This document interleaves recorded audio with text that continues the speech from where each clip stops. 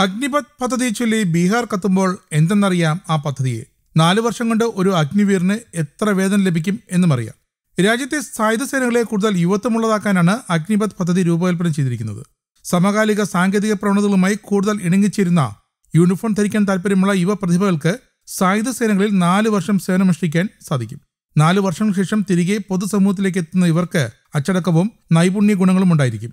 അഗ്നിവീറുകളുടെ യോഗ്യത പ്രായം പതിനേഴര മുതൽ ഇരുപത്തി ഒന്ന് വയസ്സ് വരെയാണ്. തൊണ്ണൂറ് ദിവസത്തിനകം തെരഞ്ഞെടുപ്പ് പ്രക്രിയ ആരംഭിക്കും. സാധാരണ ജവാന്മാരുടെ പരിശീലന കാലാവധി രണ്ടര മുതൽ മൂന്ന് വർഷം വരെയാണെങ്കിൽ അഗ്നിവീറുകളുടെ പരിശീലനം ആറു മാസം കൊണ്ട് പൂർത്തിയാക്കാനാണ് ലക്ഷ്യം. ഈ പദ്ധതിയിലൂടെ ലക്ഷ്യമിടുന്നത് യുവാക്കൾക്ക് രാജ്യത്തെ സേവിക്കാനും രാഷ്ട്ര നിർമ്മാണത്തിൽ സംഭാവന നൽകാനുമുള്ള ഒരു അതുല്യമായ അവസരമെന്ന് ഇന്ത്യൻ സേനകൾ പറയുന്നു. ആകർഷകമായ സാമ്പത്തിക പാക്കേജ് മികച്ച സ്ഥാപനങ്ങളിൽ പരിശീലനം ലഭിക്കാനും അവരുടെ കഴിവുകളും യോഗ്യതകളും വർദ്ധിപ്പിക്കാനുള്ള അവസരം സമൂഹത്തിൽ സൈനിക ധാർമ്മികതയുള്ള നല്ല അച്ചടക്കവും വൈദഗ്ധ്യവുമുള്ള യുവാക്കളുടെ ലഭ്യത സമൂഹത്തിലേക്ക് മടങ്ങി വരുന്നവർക്ക് മതിയായ പുനർ തൊഴിലവസരങ്ങൾ എന്നിവയാണ് ലക്ഷ്യം. ഈ പദ്ധതി നടപ്പാക്കുന്നതോടെ ഇന്ത്യൻ സായുധ സേനയുടെ ശരാശരി പ്രായം ഏകദേശം നാല് അഞ്ച് വർഷം കുറയുമെന്നാണ് വിഭാവനം ചെയ്യുന്നത്. മതിയായ അച്ചടക്കവും വൈദഗ്ധ്യവും മറ്റ് മേഖലകളിൽ സംഭാവന നൽകാൻ കഴിവുള്ളവരുമായ യുവാക്കളെ തിരികെ നൽകുന്നതിലൂടെ രാജ്യത്തിന് വളരെയധികം പ്രയോജനം ലഭിക്കും. ബാഹ്യ ഭീഷണികൾ ആഭ്യന്തര ഭീഷണികൾ പ്രകൃതി ദുരന്തങ്ങൾ തുടങ്ങിയവ നേരിടാൻ ദേശസ്നേഹം ടീം വർക്ക് ശാരീരിക ക്ഷമത രാജ്യത്തോടുള്ള വിശ്വസ്തത എന്നീ ഗുണങ്ങളുള്ള ഒരു യുവതയെ വാർത്തെടുക്കാൻ ഇതിലൂടെ സാധിക്കും. മൂന്ന് സേനകളിലേക്കുമുള്ള റിക്രൂട്ട്മെന്റ് ഉടനെ പ്രാബല്യത്തിൽ വരുന്ന ഈ പുതിയ നയം പ്രകാരമായിരിക്കും. എന്ന് ഭാരതീയ വായുസേനയിലെ സീനിയർ എയർ സ്റ്റാഫ് ഓഫീസറായ എയർ മാർഷൽ ബി സജു തിരുവനന്തപുരത്ത് വിശദീകരിച്ചു. ഇവർ ജോയിൻ ചെയ്തു കഴിഞ്ഞാൽ അടുത്ത നാല് കൊല്ലത്തേക്ക് ഇവർ അഗ്നിവീർ എന്നുള്ള പേരിൽ മൂന്ന് സർവീസിലും വർക്ക് ചെയ്യും. അത് വളരെ പതുക്കെ പതുക്കെ റോൾ ഔട്ട് ചെയ്യാനുള്ള ഒരു പ്ലാനിലാണ് ഇന്നത്തെ സ്കീം അനുസരിച്ച് ഒരു ഓൾമോസ്റ്റ് നാൽപ്പത്താറായിരം കുട്ടികൾ ഈ കൊല്ലത്തിന്റെ അവസാനം ആകുമ്പോഴത്തേക്കും മൂന്ന് സർവീസിലും ജോയിൻ ചെയ്യും. ഇന്നലെ അനൗൺസ് ചെയ്ത പോലെ തന്നെ ഒരു മൂന്ന് മാസത്തിനകം ഈ സ്കീം റോൾ ഔട്ട് ചെയ്യും ആൻഡ് എൻറോൾമെന്റ് സ്റ്റാർട്ട് ചെയ്യുന്ന ഉണ്ടാവും.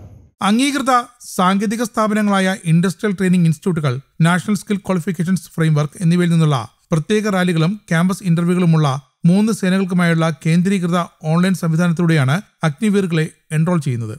Enrolment all India all class അടിസ്ഥാനത്തിലായിരിക്കും. യോഗ്യതാ പ്രായം പതിനേഴര വയസ്സ് മുതൽ ഇരുപത്തിയൊന്ന് വയസ്സ് വരെ. സേനയിൽ എൻറോൾ ചെയ്യുന്നതിനായി നിശ്ചയിച്ചിട്ടുള്ള മെഡിക്കൽ യോഗ്യതാ വ്യവസ്ഥകൾ അതത് വിഭാഗങ്ങൾക്ക് ബാധകമാണ്. ജനറൽ ഡ്യൂട്ടി സൈനികരിലേക്കുള്ള പ്രവേശനത്തിന് വിദ്യാഭ്യാസ യോഗ്യത നിലവിൽ പത്താം ക്ലാസ് ആണ്. അഗ്നിവീർമാരുടെ ഈ വിദ്യാഭ്യാസ യോഗ്യതയും വിവിധ വിഭാഗങ്ങളിൽ ചേരുന്നതിന് നിലവിലുള്ളതുപോലെ തന്നെ തുടരും.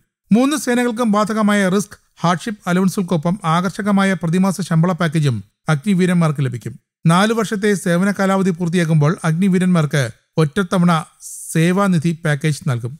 സേവാനിധി പാക്കേജിൽ അഗ്നിവീറിൽ നിന്നുള്ള വിഹിതവും സമാനമായ കേന്ദ്ര സർക്കാർ വിഹിതവും അതിന്മേലുള്ള പലിശയും ഉൾപ്പെടും.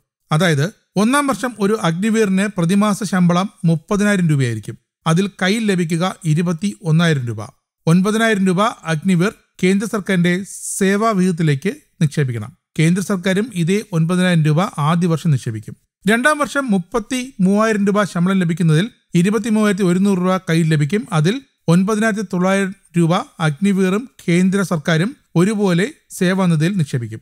മൂന്നാം വർഷം മുപ്പത്തി ആറായിരത്തി അഞ്ഞൂറ് രൂപയാണ് ശമ്പളം. ഇതിൽ ഇരുപത്തി അയ്യായിരത്തി അഞ്ഞൂറ്റി എൺപത് രൂപ കയ്യിൽ ലഭിക്കും. ഇതിൽ പതിനായിരത്തി തൊള്ളായിരത്തി അൻപത് രൂപ അഗ്നിവീറും കേന്ദ്ര സർക്കാരും ഒരുപോലെ സേവാനിധിയിലേക്ക് നിക്ഷേപിക്കും. നാലാം വർഷം നാൽപ്പതിനായിരം രൂപയാണ് വേതനം. ഇതിൽ ഇരുപത്തി എണ്ണായിരം രൂപ അഗ്നിവീറിന് കയ്യിൽ ലഭിക്കും. പന്ത്രണ്ടായിരം രൂപ അഗ്നിവീറും കേന്ദ്ര സർക്കാരും ചേർന്ന് സേവാനിധിയിലേക്ക് നിക്ഷേപിക്കും. നാല് വർഷം സേവാ കാലാവധിക്ക് ശേഷം പതിനൊന്ന് ലക്ഷത്തി എഴുപത്തൊന്നായിരം രൂപയും പലിശയും അഗ്നിവീറിന് സേവാനിധി പാക്കേജ് പ്രകാരം ലഭിക്കുമെന്നാണ് ഇപ്പോൾ വ്യവസ്ഥ ചെയ്തിരിക്കുന്നത്. സേവാനിധിയെ ആദായ നികുതിയിൽ നിന്നും ഒഴിവാക്കും. ഗ്രാറ്റുവിറ്റിക്കും പെൻഷൻ ആനുകൂല്യങ്ങൾക്കും പക്ഷേ അർഹതയുണ്ടാകില്ല. അഗ്നിവീരന്മാർക്ക് ഇന്ത്യൻ സായുധ സേനയിലെ അവരുടെ സേവന കാലയളവിൽ നാൽപ്പത്തിയെട്ട് ലക്ഷം രൂപയുടെ നോൺ കോൺട്രിബ്യൂട്ടറി ലൈഫ് ഇൻഷുറൻസ് പരിരക്ഷ നൽകും. അഗ്നിപത് സ്കീമിന് കീഴിൽ അഗ്നിവീരന്മാരെ നാല് വർഷത്തേക്ക് അതത് സൈനിക നിയമങ്ങൾക്ക് കീഴിലുള്ള സേനയിലാകും ചേർക്കുക. നിലവിലുള്ള മറ്റൊരു റാങ്കിൽ നിന്നും വ്യത്യസ്തമായി അവർ സായുധ സേനയിൽ ഒരു പ്രത്യേക റാങ്ക് രൂപീകരിച്ച് അതിലേക്കായിരിക്കും പ്രവേശനം നേടുക. നാലു വർഷത്തെ സേവനം പൂർത്തിയാകുമ്പോൾ സായുധ സേനയിൽ സ്ഥിരമായ എൻറോൾമെന്റിന് അപേക്ഷിക്കാനുള്ള അവസരം അഗ്നിവീരന്മാർക്ക് ലഭിക്കും. അവരുടെ നാലു വർഷത്തെ സേവന കാലയളവിലെ പ്രകടനം ഉൾപ്പെടെയുള്ള വസ്തുനിഷ്ഠമായ മാനദണ്ഡങ്ങളെ അടിസ്ഥാനമാക്കി കേന്ദ്രീകൃത രീതിയിൽ ഈ അപേക്ഷകൾ പരിഗണിച്ച് ഓരോ നിർദ്ദിഷ്ട ബാച്ചിലെ അഗ്നിവീറുകളുടെയും ഇരുപത്തിയഞ്ച് ശതമാനം വരെ സായുധ സേനയുടെ സാധാരണ കേഡറിൽ എൻറോൾ ചെയ്യപ്പെടും. ഇതിനായി വിശദമായ മാർഗനിർദ്ദേശങ്ങൾ പുറമെ കേന്ദ്ര സർക്കാർ പുറപ്പെടുവിക്കുമെന്നാണ് വ്യക്തമാക്കിയിരിക്കുന്നത്. Defence desk Kerala Kaumudi.